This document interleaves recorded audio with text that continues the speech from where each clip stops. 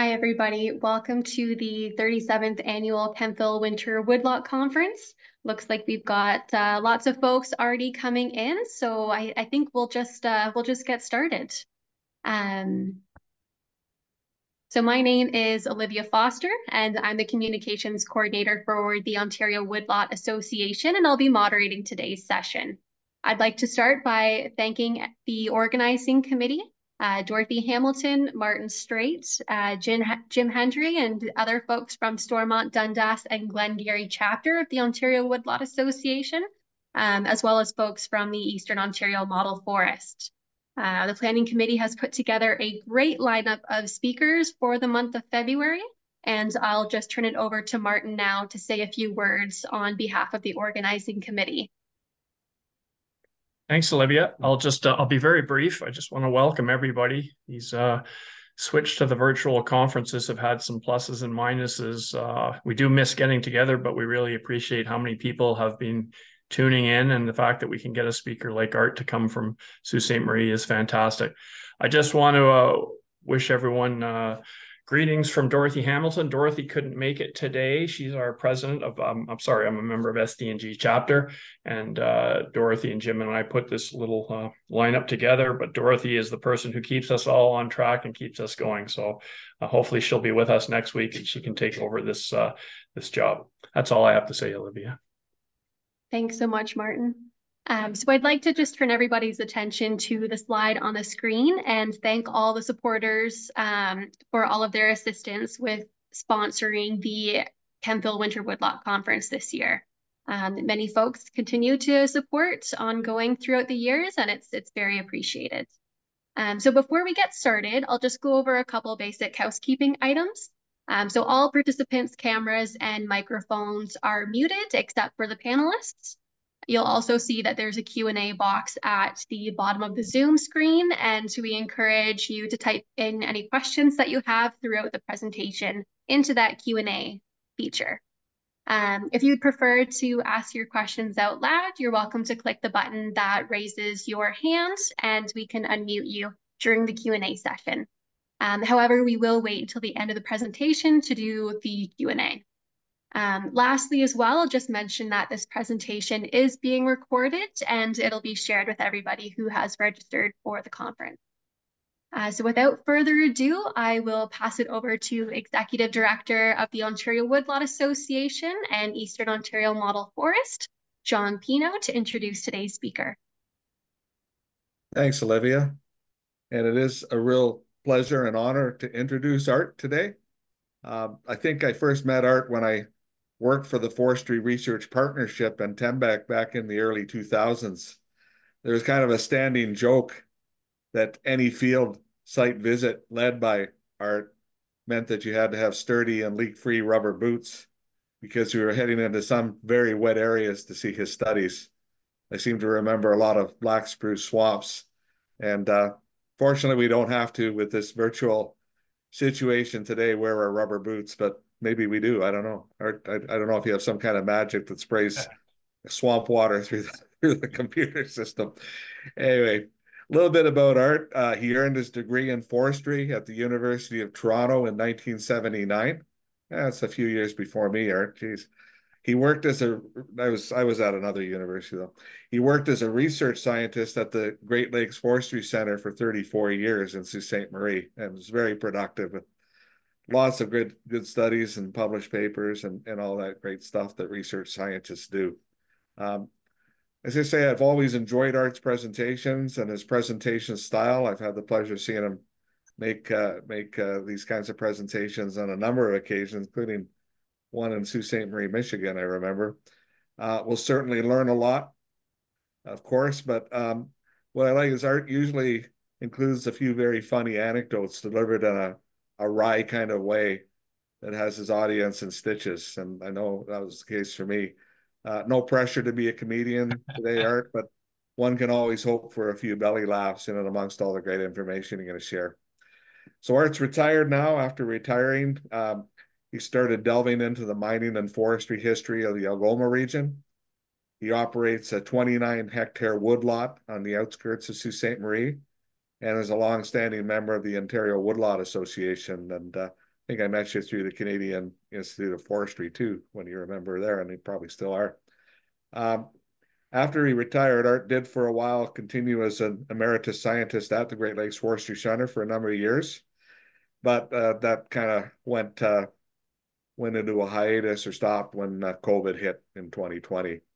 So these days he's more uh, in, interested, more involved in historical and woodlot activity, and it keeps him very busy. So that's his focus. And, and it's his big goal to finish writing a book on the Algoma forest and mining history.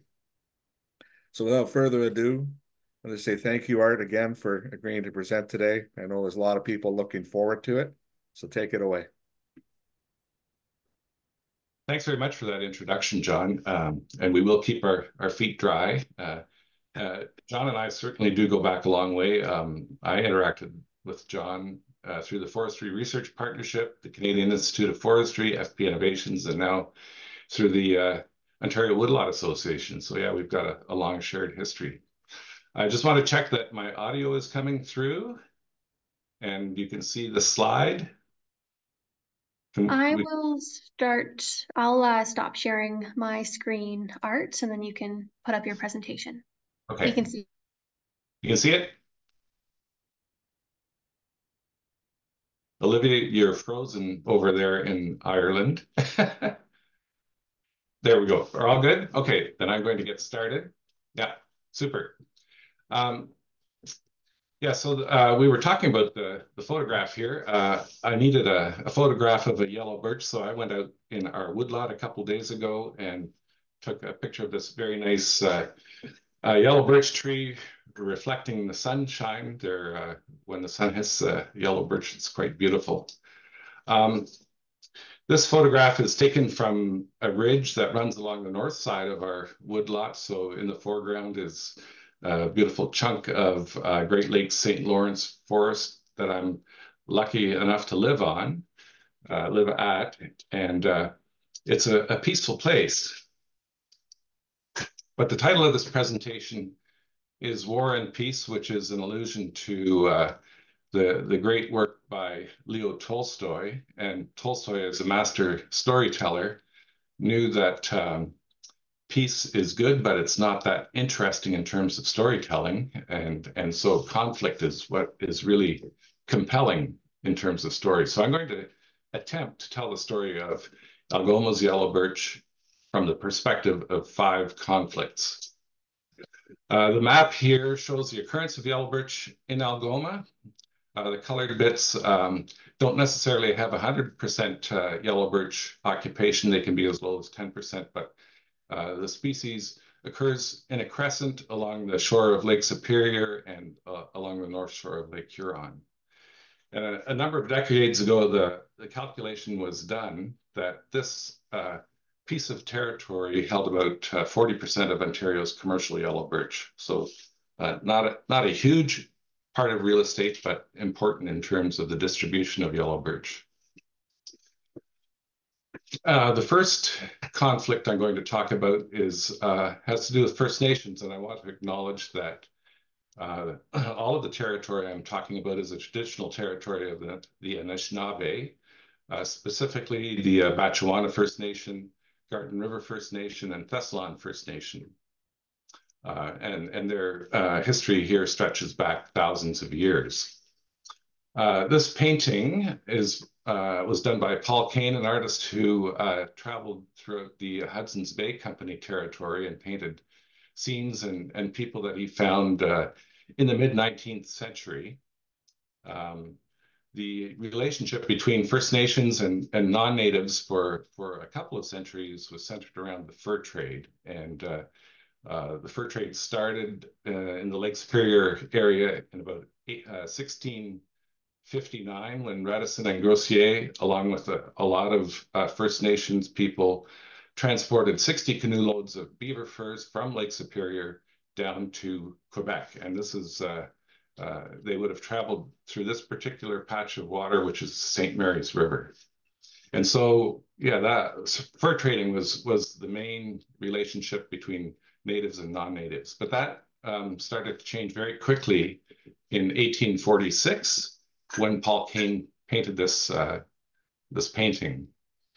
And the the clash that happened was over copper. Uh, there was a copper boom uh, around Lake Superior and on the north shore of Lake Huron. Uh, it started in uh, the Upper Peninsula of Michigan, uh, but copper was discovered in uh, along the shore of eastern shore of Lake Superior and the north shore of Lake Huron. Um, there had been no treaties signed over this territory, uh, but non-natives were prospecting. Um, the, the government at the time started issuing mining locations, so selling pieces of property to uh, would-be miners, some large corporations from uh, Montreal and Quebec City. And uh, a couple of mines started, one uh, in 1846 at Bruce Mines and in 1847 at Pointe aux Mines. Um, the native point of view was that uh, they owned the copper. This was their copper, but it was being mined by uh, non-natives. So uh, Chief Shingwaukonse of the Garden River uh, First Nation traveled to Montreal twice to meet with Lord Elgin, the Governor General of the province of Canada, to uh, try to come up with some arrangement that would be satisfactory to both sides, but uh, that didn't result in much action. So the First Nations took a different tact in 1849 and organized a raid on the mine at Pointe aux Mine. So in November of 1849, uh, the chiefs of the Batchewana First Nation, Garden River First Nation, and about 100 uh, people sailed in a sailing ship up to Pointe aux Mines, confronted the miners there. Um, it was a non-violent confrontation, but uh, they made it clear that uh, they didn't want the miners there, and the miners uh, abandoned of mines and, and that mining activity ceased. So that confrontation got the attention of the authorities. And in 1850, uh, following summer, they sent William Robinson to Sault Ste. Marie to negotiate with uh, the First Nations on Lake Superior and Lake Huron to come up with a treaty. And so that was the uh, the origin of the Robinson Huron and the uh, Robinson Superior treaties in, in 1850. The Robinson Huron Treaty established a number of uh, of Indian reserves, uh, and in southern Algoma, they were the Batchewana First Nation, Garden River First Nation, and Thessalon First Nation, and, and those reserves are shown in orange, and in the case of the Garden River First Nation, in orange and brown. Uh, so fairly large uh, Indian reserves. Uh, the provincial, the, the province of Canada, still a colonial government at the time, almost immediately had um, regrets about the size of these reserves. And in 1859, they sent Richard Pennefather, the superintendent of the Indian Department, to uh, negotiate a follow-on treaty. And he uh, did that with these three First Nations. Uh, there were Pennefather treaties with each of the Batchewana, Garden River, and Thessalon First Nations. And he persuaded them to give up uh, much of their territory. Uh, for Batchewana First Nation and Thessalon First Nation, they surrendered uh, the, the, nearly their entire reserves, uh, and Garden River uh, was diminished by about two thirds. The treaty for uh, Batchewana, they surrendered the reserve in exchange for $1,200, the promise of 40 acres for each family on the Garden River Reserve, and the option for families to purchase back 88 80 acre parcels on the surrendered land. Uh, I guess the most po uh, positive part of the, the treaty was when the surrendered lands were sold, uh, the proceeds would go to the Batchewana First Nation. So the, the end result of this uh, was there was large territory for sale by the, uh, the Indian Department, um, and it was rich in yellow birch. So we're going to come back to this. Nothing, nothing happened uh, during the, uh, the 19th century with this land. Very little of it was sold, but eventually it would be sold, and we'll talk about that in a, a second. Uh, the reason that not much happened was a, a very different struggle, and that was the uh, the struggle that the early loggers had with gravity. Uh, logs being large, heavy objects, difficult to move, and loggers had only uh, human muscle and animal muscle in the form of horses to uh, to fell the logs and to, to move them. So this was hard, heavy work. Uh, but in some cases, loggers could make uh, friends with gravity as well. And uh, due to the fact that water runs downhill and some logs float on water. So river driving was the, uh, the main form of long distance transport for uh, logs, particularly for white pine in the, the late 1800s and early 1900s.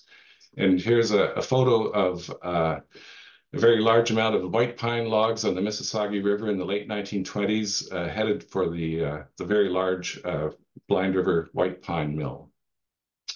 Now, I, Art, if I, I could just uh, jump in there for a second, the audio is just fading in and out a little bit. It's getting louder okay. and uh, quieter. Yeah, if you could just move up a little bit closer to the computer, that would be great. Yeah, thanks for the thanks. tip. That's great.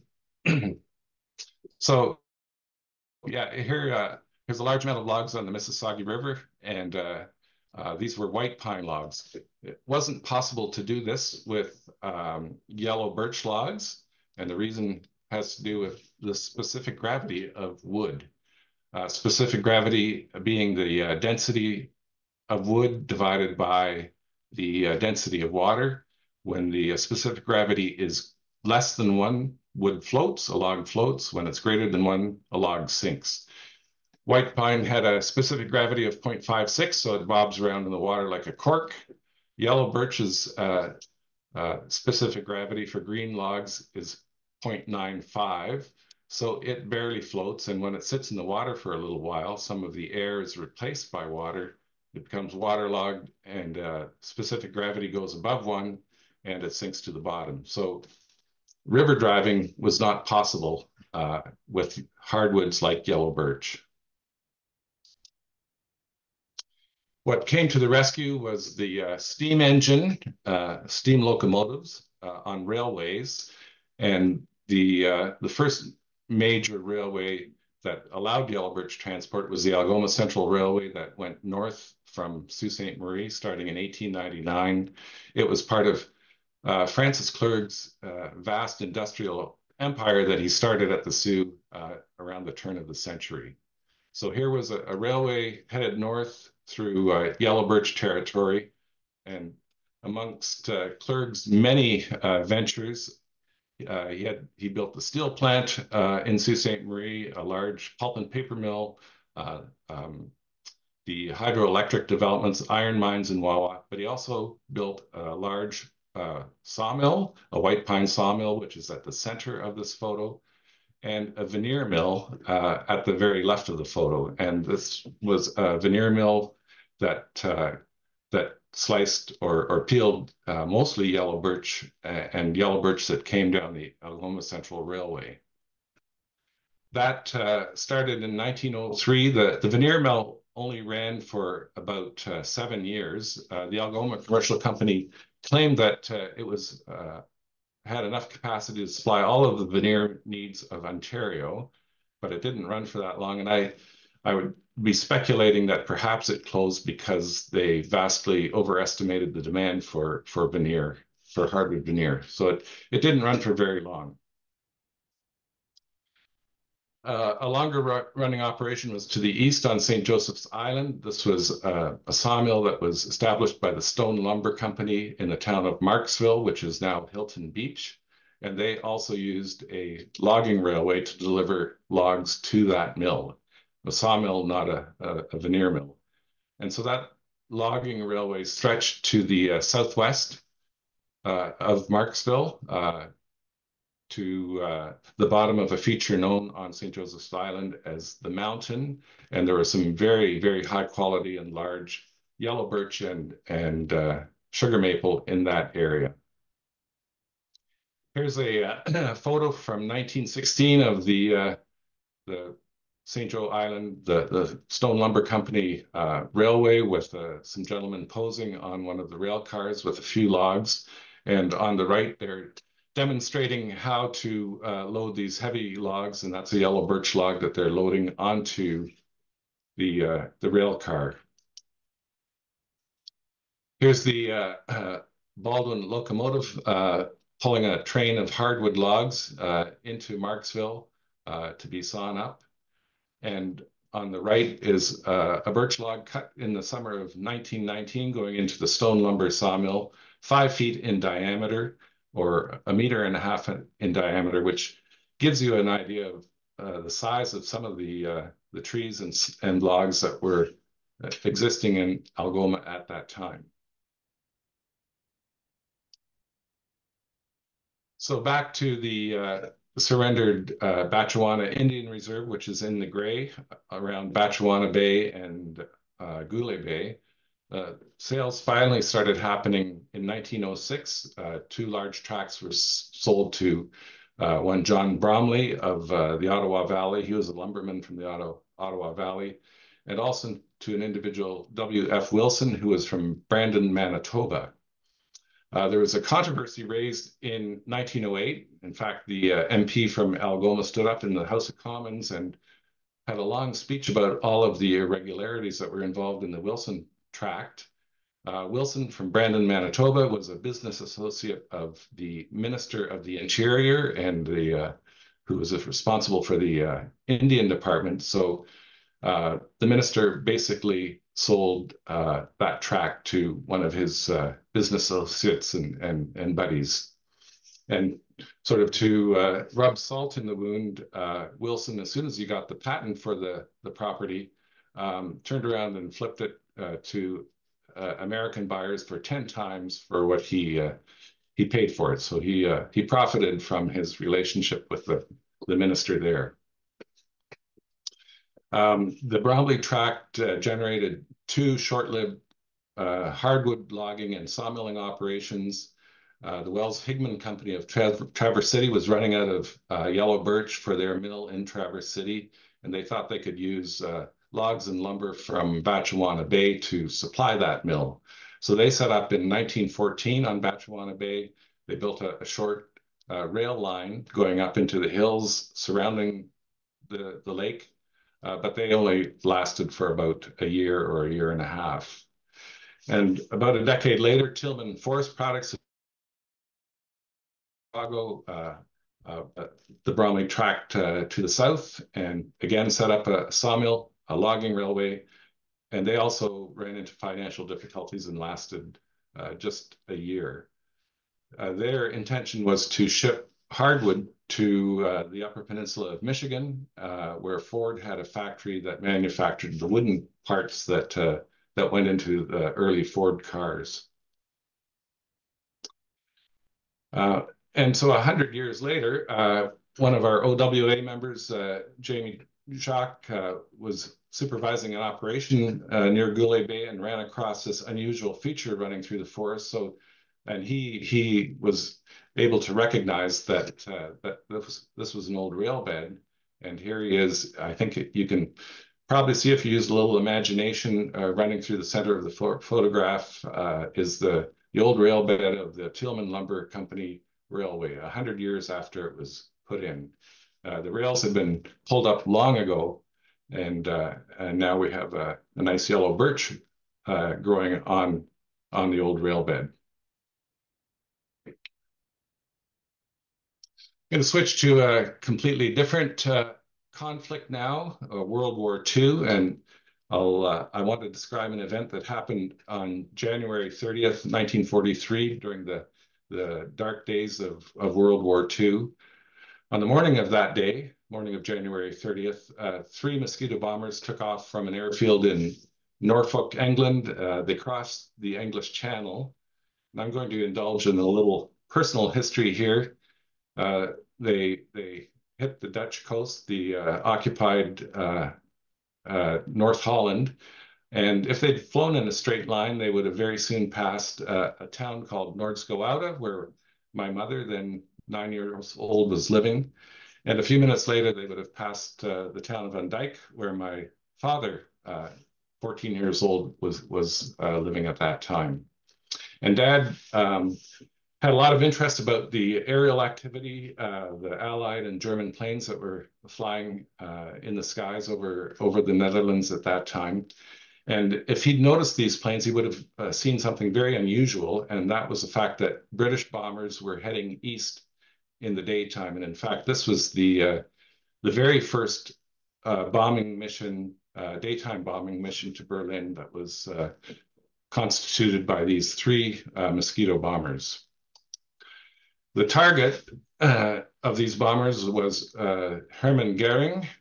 He was scheduled to make a, a radio speech at 11 a.m. Uh, in Berlin, uh, and it was to commemorate the 10th rise of the Nazis to power. Just a few minutes before 11 a.m., the uh, mosquitoes opened their bomb bay doors, dropped bombs on Berlin, and uh, unfortunately they didn't uh, hit Hermann Goering, but they the bombs dropped close enough to the radio station that they uh, knocked the radio station off the air and prevented uh, Goering from making his scheduled speech that day. Uh, a couple of weeks later, at a meeting of aircraft manufacturers, uh, uh, Goering vented his fury, and and and there are a couple of aspects to this. First of all, he was the uh, the head of the Luftwaffe, and his Luftwaffe fighters weren't able to stop the mosquito because of the speed the speed of the mosquito bomber. He was also the Minister of Forests, and uh, the mosquitoes were wooden aircraft, so that was another another uh, insult to Goering. And he said he mentioned uh, that uh, the British were making this beautiful wooden aircraft uh, that all the piano factories were building. And the wood that was used in the de Havilland uh, mosquito was yellow birch. So yellow birch plywood, layers of yellow birch over a balsa wood core, and the fuselage and the wings were constructed of, of uh, yellow birch plywood. Um, most of these aircraft, uh, nearly a total of nearly 8,000 were manufactured in England during the Second World War, but about a thousand were built uh, at Downsview uh, in Toronto. And you can, see in the photographs, there are uh, pictures of the, the wooden fuselages being uh, built and assembled uh, to make the mosquito bombers. So where did the yellow birch for the, the bomber come from? Um, here's the range of yellow birch in eastern North America. Uh, I don't think there's a, any definite answer to that question. Certainly uh, some came from Ontario, some from Quebec, uh, from the northern parts of the lake states, uh, from Minnesota, Wisconsin, and Michigan. Uh, perhaps from the US Northeast, I don't know about that. Uh, for Algoma, there are references to yellow birch logs being cut for aircraft veneer uh, north of Sault Ste. Marie at Glendale, at Goulais Bay, at Havilland Bay, to the east of Sault Ste. Marie at Echo Bay and Bruce Mines, um, and along the north shore of uh, Lake Huron at Thessalon River. Statistics for hardwood log exports in 1941, 1942 from the Soo district mention uh, an export of 3.3 million board feet, which translates to about 400 truckloads in, in modern day truck uh, terms. Uh, and these would have all been uh, very high quality uh, prime yellow birch uh, veneer logs. And the exports from the Soo, the Soo district, went to Wisconsin. Um, there were veneer mills at a number of locations in Wisconsin, Butternut, Marshfield, uh, Stevens Point, Oshkosh, uh, and it was the center of the American hardwood plywood industry. Um, these mills benefited from the presence of the U.S. Forest Service's uh, Forest Products Lab at Madison, which carried out research on uh, plywood and on the, the glues used to uh, to hold the plywood together. So there's a, a good interaction between the uh, manufacturing uh, centers and the, uh, the research carried out by the U.S. Forest Service. Uh, there were two main companies producing uh, veneer and plywood for the mosquito bomber in Wisconsin. The first is Roddis Lumber and Veneer, and that, name is going to come up a few times later here.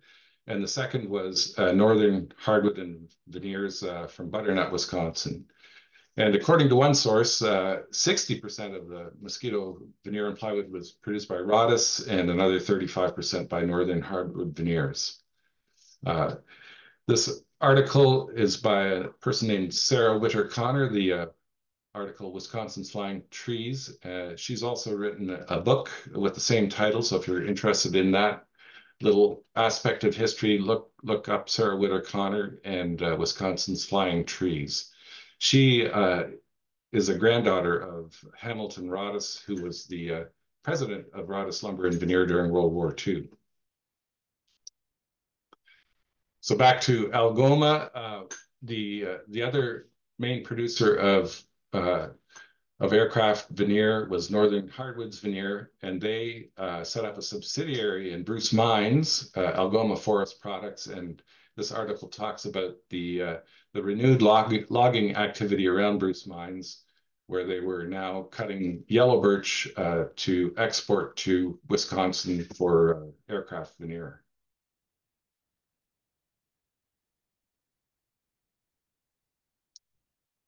And uh, an ad that appeared in uh, the Aviation magazine in 1943 from Pluswood, which was another affiliate of uh, of the Northern Hardwood Veneer Company, um, talking about this new, uh, very high quality plywood that they were producing. And, and one of the selling features was that they were producing this plywood for the uh, de Havilland mosquito bomber. And in the, uh, the list of subsidiaries or, or associated companies, they mention Algoma Forest Products. Uh, they give the location as Bruce, Ontario, which uh, was actually Bruce Mines. Uh, there's a at the end of their blurb, they say, right now for an engineering data bulletin that may help your thinking on the plans you want to have ready when the war is won. So they were already looking forward to the uh, the post-war period when when production of um, or the consumption of, of plywood would switch from military to uh, consumer needs. 14 years after uh, World War II ended, Queen Elizabeth visited Sault Ste. Marie. Um, she hosted a luncheon, appropriately enough, at the Windsor Park Hotel on Queen Street. And this is her and Prince Philip entering the, the Windsor Park Hotel. And one of the guests they invited was Hamilton Roddis of Roddis Lumber and Veneer. He was then uh, nearly 80, flown up in his uh, private plane uh, to lunch with the Queen. And purpose of the Queen inviting him was to thank him for the great contribution that Roddis Lumber and Veneer had made to supplying the uh, wartime needs for the uh, production of the Mosquito aircraft. So after the war, uh, the demand for for plywood did switch to the consumer side, and uh, and with uh, mechanized uh, transport of of logging uh, logs, it was possible to set up uh, larger mills. And the first to arrive in Sault Ste. Marie in 1948 was Roddis Lumber and Veneer from Wisconsin. So the, the wartime producer of the mosquito bomber now moved into the Sault Ste. Marie area to start um, logging and, and sawing uh, both yellow or yellow birch, hard maple, and, and white pine. And the logs that they obtained uh, came from freehold land, land that they had purchased, and, and the land that they bought was uh, some of the uh, the blocks that were the former territory of the uh, the Batchewana First Nation. They also had a crown license. They could buy uh, timber from the Algoma Central Railway townships. These were the townships that had been granted to the railway for them to build the rail, the, the rail line. And there were small private landowners that were also uh, selling wood to Roddis.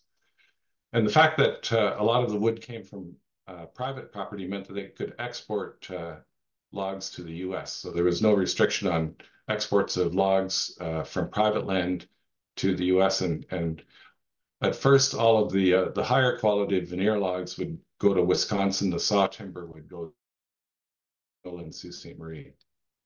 They did uh, build a, a, veneer mill in 1951, and, and all of this was located at uh, Third Line and Peoples Road in Sault Ste. Marie, where there's there's still a hard uh, uh forest products complex there, but there's no uh, there's no veneer production there anymore.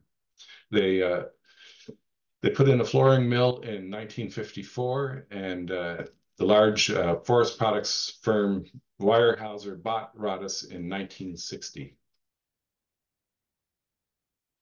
Uh, the other, the location of the other, another uh, large hardwood uh, processing facility was Searchmont, uh, northeast of Sault Ste. Marie. Hay and Company of Woodstock built a sawmill there in 1957, uh, and they sent uh, veneer logs south again to to Woodstock to the parent company for a while. Um, uh, the, the, name of the firm changed to Weldwood in 1964. They were always a, a, a subsidiary of, of Weldwood, and, and that name was formalized in, in 64. And Weldwood added a yellow birch veneer mill in 1967. So in 1966, this was uh, the, the yellow birch range in uh, Algoma was um, completely covered by hardwood licenses, uh, the largest amount to uh, Weyerhaeuser, uh, quite a, the pink color, and that included their uh, freehold land, the Wells Higman block that had been part of the Batchewana Indian Reserve back in uh, the Robinson Huron time, and uh, the Duncan block, which was uh, once part of the uh, original Garden River Reserve. Weldwood held the licenses for all these brown colored area, and there was also a, a, a, smaller veneer mill in Thessalon, and they had a license uh, north north of Thessalon. That that company was Birchland Veneer. So pretty much all of the hardwood was covered by by licenses in 1966. And here's a couple of photos of uh, of the logging operations in the late 50s and early 60s. It was still done by uh, Caterpillar tractor in those days, and the logging arch photograph on the left is Hay and Company uh, skidding some large yellow birch logs uh, along a skid trail. Um, the final conflict that I want to talk about is one that occurred in Lake Superior Provincial Park. Uh, we'll start off with a peaceful scene. Uh, this is the beautiful shoreline of uh, Lake Superior. Uh, this is um, Sinclair Cove, a very pretty spot, very peaceful but we're going to talk about conflict. Um, and the conflict had to do with logging in uh, Lake Superior Provincial Park. Um, the park didn't become very accessible until the, late 40s and 50s. Uh, a bridge was built over the Montreal River in 1948, and that gave access to the, uh, the very southern part of the park where Weld, Weldwood uh, eventually held a license. And there was a bridge built over the Agawa River in 1957, and the Highway 17 was eventually completed to Wawa in 1960. And so the, at that time, the uh, the more northerly, larger portion of Lake Superior Provincial Park could be accessed. Um, Weldwood was cutting about uh, 400 hectares a year in 1970, and Weyerhaeuser uh, 3,000 hectares per year and with all within the park. This uh, generally was not clear cutting. In fact, Weyerhaeuser could operate with as few as four or five yellow birch trees per hectare. So um, it was more a matter of uh, removing the best trees, uh, building roads in and, and removing just a small number of trees in, in most cases. In 1970, uh, the Wildlands League uh, sent a task force to have a look at what was going on in Lake Superior Provincial Park. It was led by Bruce Littlejohn and Dr. Douglas Pimlott.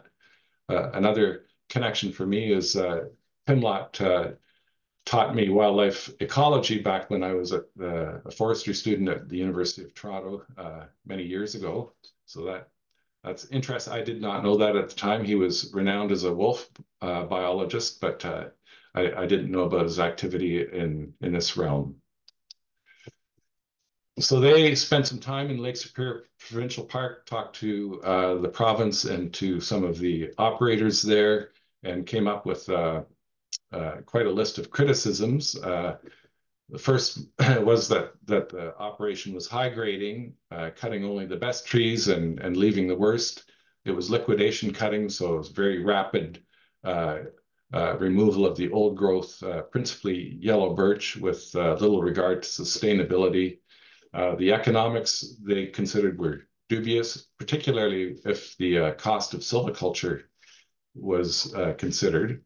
And that silviculture generally was inadequate. They saw that only about 5% of the cut area was being treated.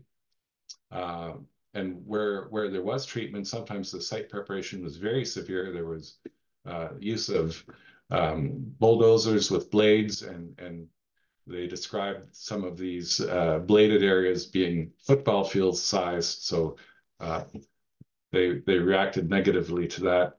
They noted damage to soils and streams by roads and skid trails, uh, logging roads and, and cutovers intruding into recreational area. And particularly, uh, they were concerned about the Sand River Haul Road that ran along the Sand River. Uh, um, the Sand River being a, a, very popular canoe route, and it seemed kind of in, incongruous to have a, a haul road running in places visible uh, from a wilderness, supposedly wilderness uh, canoe route. Uh, and so a basic underlying question was, is this a park for timber? Is it for recreation? Is it for wilderness? Here's some uh, photographs uh, taken by my friend Jack Myhill, who's also an Ontario Woodlot Association member. He worked uh, in the area for the MNR in the uh, late 70s uh, and early 80s. So here's a pile of hardwood logs on the Gamitagama Road in, in the park, um, high grading uh, in the winter. A couple of photos of uh, trucking along the O'Connor Road in the spring when the road is breaking up. You can see in the uh, the bottom right-hand corner uh, a bulldozer pulling a, a, logging truck along that very muddy road. So this is all happening in Lake Superior Provincial Park at the time. Uh, operated a, a logging camp uh, located within the, the park, Camp 100, which refers to the fact that uh, this was 100 miles along Highway 17 north of Sault Ste. Marie. And you can see just a, a, little bit of Highway 17 along the, uh, the bottom corner of this uh, photograph. So the, the logging camp was right on Highway 17. It was located a, a couple of kilometers north of uh, where the very popular Orphan Lake uh, Trail runs today. I like to go back and look at some of these places. So in 2022, I, I, I walked around this uh, old uh, campsite. The buildings had all been long, long removed. Um, the cleared areas are are growing over, and the, the main evidence I found of the camp was this utility pole sticking up, uh, growing between a white spruce and a red pine tree. And this is the utility pole back in 1983. So it's always interesting to com compare yesterday and today. Um, the, the task force, the uh, Wildlands League task force mentioned the very intensive site preparation. Here's a, a couple of photos that Jack took back uh, in 1983 of uh, scarification or site preparation within the park. Um, you can see that it, it is quite intense.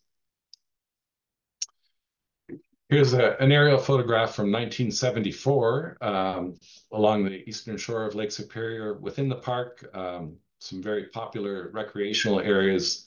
Uh, Katherine Cove, a, a, beautiful picnic spot. Uh, there's a, a, beach, a nice sand beach that goes between Katherine Cove and Sand River to the south. Um, there's a, a, nice hiking trail that runs along the north side of the Sand River.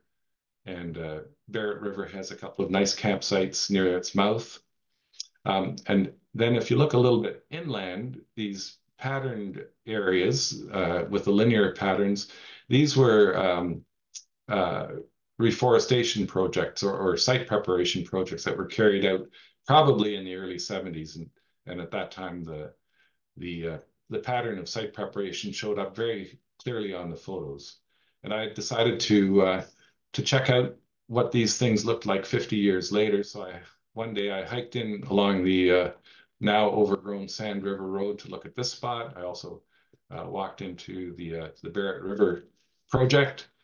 So in 2022, here's uh, the, the Sand River project. Uh, this was likely a, a, yellow birch seed tree that had been left to sprinkle seeds on the site prepared area. It was uh, I'm guessing it was left as a seed tree because it had this big burl and a seam, and there's probably some logging damage down at the bottom here. The um, the forest that had established on the bladed area was uh, quite a disappointment for me. It was a, a, mixture of balsam fir and white birch without any uh, yellow birch, and the trees were quite small and slow growing, which probably is a result of the fact that the uh, the blading was so intense that it removed a lot of the organic matter from the area. Uh, at the Barrett River project, I did find some yellow birch. Here's a yellow birch tree that established there. But again, most of the uh, trees that established following this intensive site preparation were yellow birch, and again, they're or sorry, white birch, and again, they're not uh, not all that large, uh, particularly considering that this is 50 years after the treatment.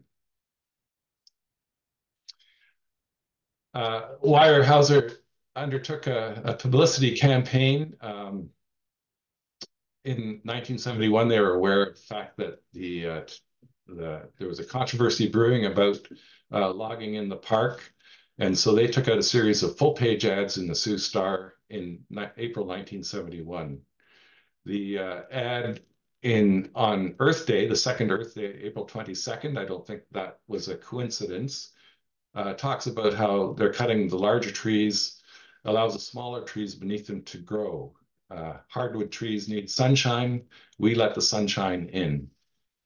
They also uh, played the jobs card, pointing out that uh, uh, 500 people worked at the, the mill in Sault Ste. Marie. And, and at that time, certainly uh, it was a, large employer, the third largest employer in the Soo after the, the steel plant and Abitibi's uh, pulp and paper mill. And they they made the further point that they would not be able to operate in the Soo if it weren't the timber that comes from the park operations. So after this uh, controversy started brewing in, in 1970, there were nearly 25 uh, years of discussion about logging in Lake Superior Provincial Park and uh, uh, several iterations of planning. Um, by 1987, most of the, the veneer quality material had been cut out of the park and, and logging had pretty much stopped by then.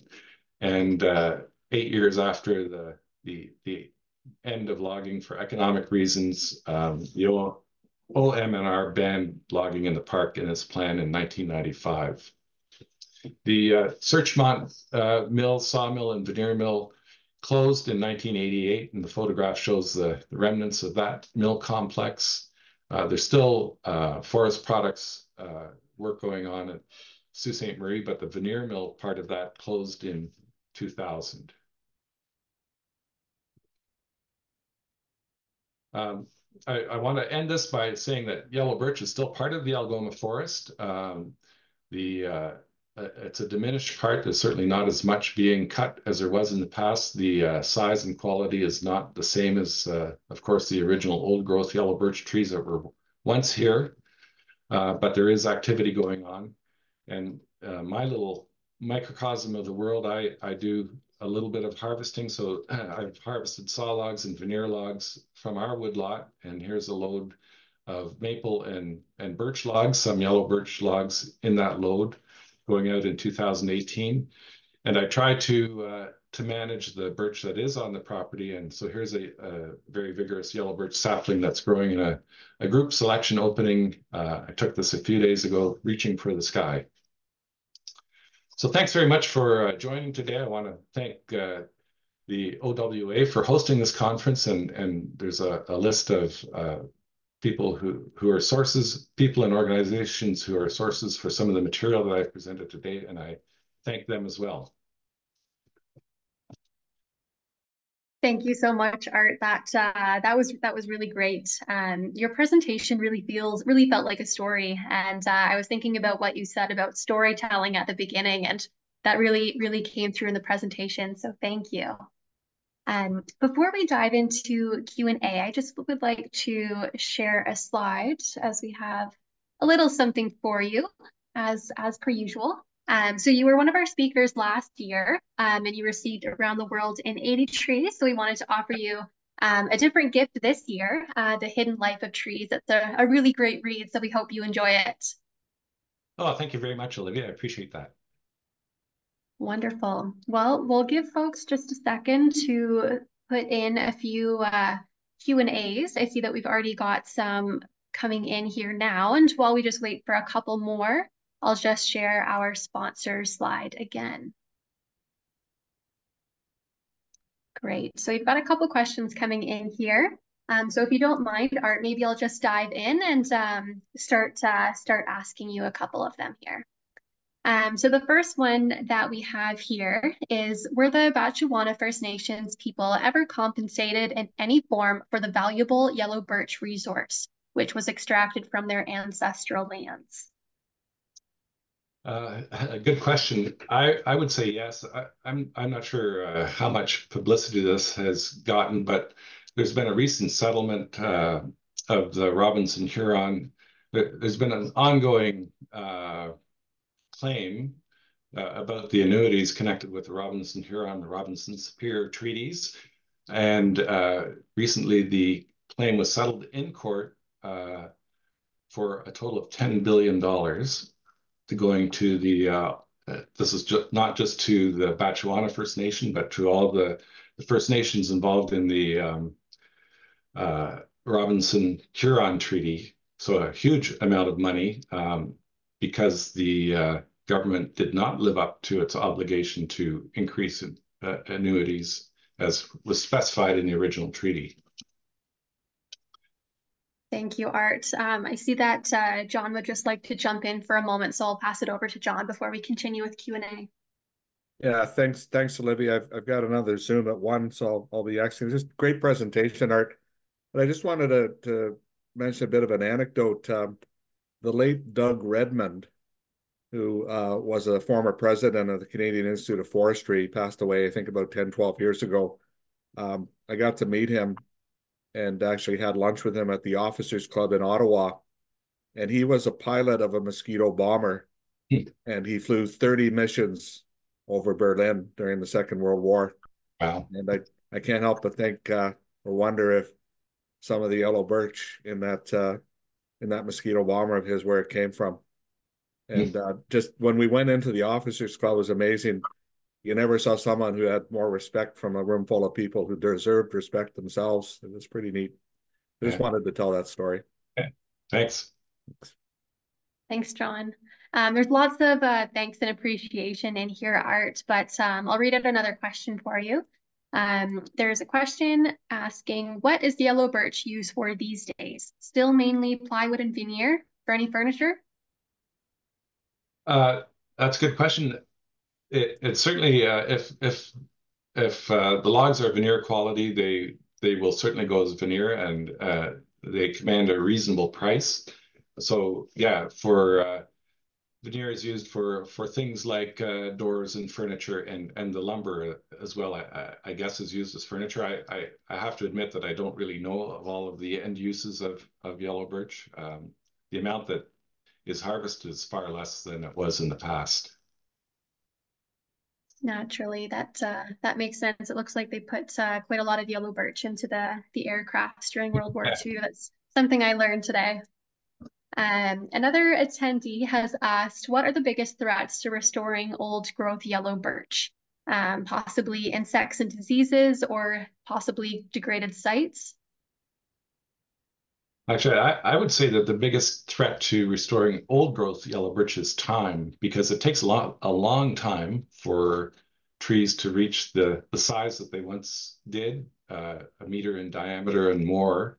It, it takes hundreds of years. So um, if uh, if if we're patient, they'll get back to that size. But I, I don't know if our uh, in our forest management and current economic system, whether we're willing to do that. Uh, in places where where uh, yellow birch is protected at conservation reserves and and parks, it eventually will get back to that size. Climate change permitting. Yes, of course. Um, we have a, a, hand raised here. Um, just before I get to the raised hand, I'll just ask you another question from the uh, Q&A. Um, mm-hmm. How do you create group selection for yellow birch if a few trees are present in your woodlot? Uh, a bit of a, a technical forestry question okay. there. Um, so there's there's a couple parts. The yellow birch thrives on light, so you need a, a fair sized opening. So removing one tree isn't enough. Uh, you need to remove several trees to create an opening that's large enough. In, the slide that I showed, I was lucky enough that there were some yellow birch already in the understory, and they started growing very quickly when when that opening was created. Um, if there's yellow birch seed trees around, um, you pretty much need to uh, have some disturbance of the soil for the seeds to establish. So they establish best on, on exposed mineral soil. Uh, so some site preparation is useful if you have seed trees, uh, but certainly not as um, severe as the site preparation that I showed in a couple of the slides. Thanks, Art. That's, uh, that's quite a, a detailed response. Um, I'll just go to the raise hand here, Jim Farrell. Um, I'm just allowing you to talk now, Jim. Um, so you're able to, should be able to unmute yourself if you would like to ask a question or, or provide a comment. Okay, great. Um, thanks very much for the chance. Hi, Art. Um, Hi. I'll be, I'll be quick here. Yeah. I know we're getting late. I worked in around the park from 1977 uh, to 1982. Know Jack Myhill quite well, and a number of the sites that you'd uh, you'd mentioned there. I was I, I got to know the Sand River Road pretty well actually, and uh, of course we were looking for for spruce, mainly spruce at the time for the for the paper mill, and we were allowed to start harvesting in the park in 1990 or 1980 rather. Uh, five years after a spruce budworm infestation, so there really wasn't much to to cut after that. But I, I too visited those sites that were very heavily bladed art. And I think there was a mention too about prescriptions. Like given the wide distribution of of yellow birch, is there a diversity of prescriptions, you know, let's say north of Superior as opposed to, you know, uh, Eastern Ontario, Northeastern Ontario, or is it pretty much the same prescription from your from your understanding? Um, good question, uh, Jim, but my understanding isn't broad enough to, to be able to answer that. Uh, I know that the, the prescriptions that were developed in the Algoma area were uh, uh openings with uh, site preparation. These were pioneered by, by Harry Graham uh, yep. a few years ago. Yep. with seed trees and, and and that was often very successful so there's there are areas where uh, where yellow birch established very well after that kind of prescription. I don't know uh, what was used, say, further further east in Algonquin Park or uh, areas adjacent to Algonquin Park where there's also quite a bit of yellow birch. I don't know that. Yeah. Olivia, I'll just jump in for a sec. Um, the only other thing, in addition to what Art's already talked about, is there is some uniform shelterwood management still with light scarification, like Art has suggested, used throughout the range in Ontario. So both group selection and uniform shelterwood are used for yellow birch. Thank thanks, you, folks. Martin. Excellent. And thanks, Jim. Um, I see one last question here. We're nearly at one o'clock, so we'll just take this last question and then wrap things up. Um, so we have a question here asking if you have any advice on improving yellow birch seed production when managing and harvesting it. Hmm. Seed is a fairly niche question. Yeah. Um, I, I don't have any direct experience with that. I, I would think that that probably the, the way you usually uh, improve seed production in trees is to to make sure that the the trees are vigorous and uh, and growing well, and that that might involve removing some of the competitors to the seed trees to ensure that they have a full crown.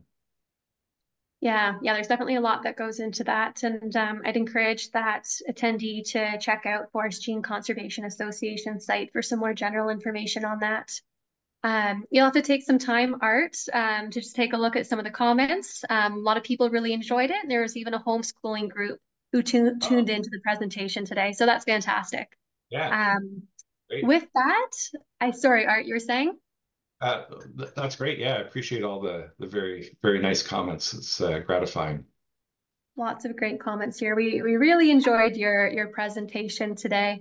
Um, and once again, we have the sponsor slide up there. So we just like to thank the sponsors and the committee members um, Martin, Dorothy, and Jim Hendry, as well as yourself, Art. Thank you for taking the time to speak with all of us and put together this presentation.